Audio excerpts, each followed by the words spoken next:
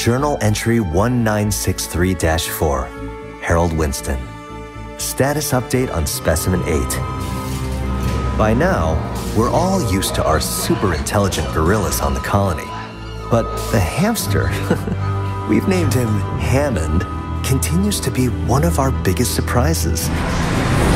Even though he's grown from the genetic modification, we have more trouble keeping track of him than any of the other animals.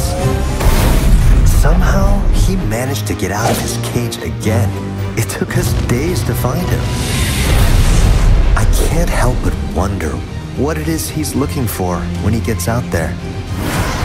He's shown impressive problem-solving skills and adaptability to new situations. And he's overcome all the challenges that have been placed in front of him. I, for one, can't wait to see what trouble the little guy gets up to next.